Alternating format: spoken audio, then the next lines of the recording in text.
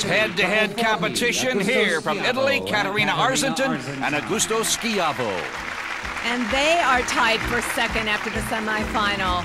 I'm beginning to wonder who's in first place.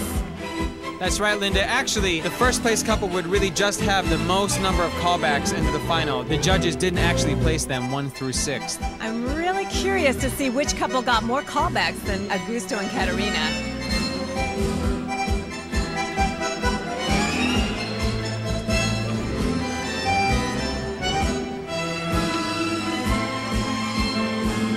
Augusto looking very confident here.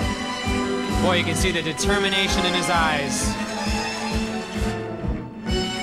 Caterina very strong, dancing right up to him.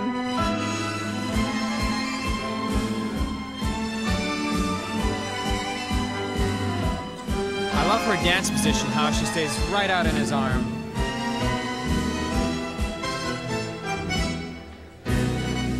They fit together so well.